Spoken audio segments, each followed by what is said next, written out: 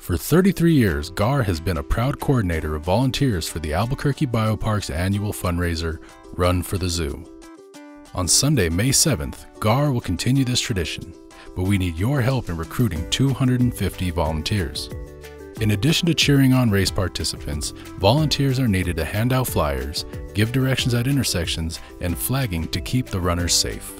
There is no age limit, so invite your family, friends, and colleagues to sign up.